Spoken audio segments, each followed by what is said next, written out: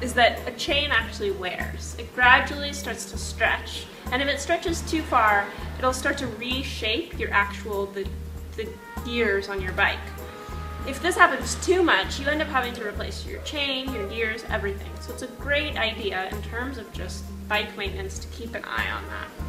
So the way one does that is, at a bike shop, they have this very simple tool which measures uh, how worn the chain is.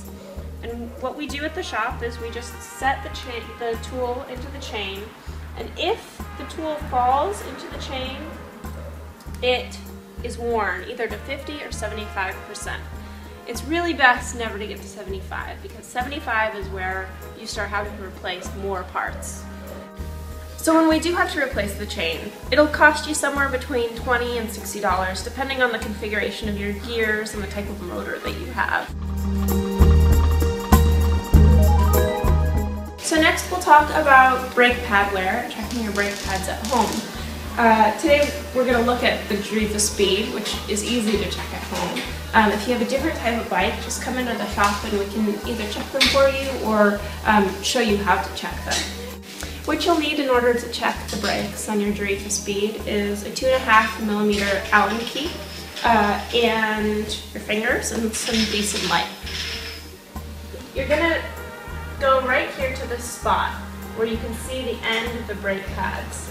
There's a small safety pin that you remove just with your finger.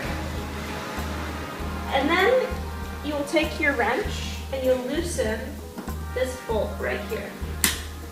Righty tighty, lefty loosey.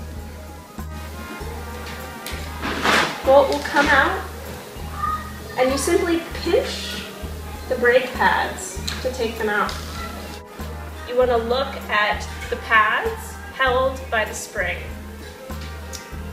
You want to check to make sure that there's about a millimeter of brake pad and that it extends beyond the metal of the spring and the holder. To reinstall the pads, you just do the same steps, but in reverse. If you need new pads, they're about 20 to $25 plus installation, uh, and they'll keep you and your bike safe on the road.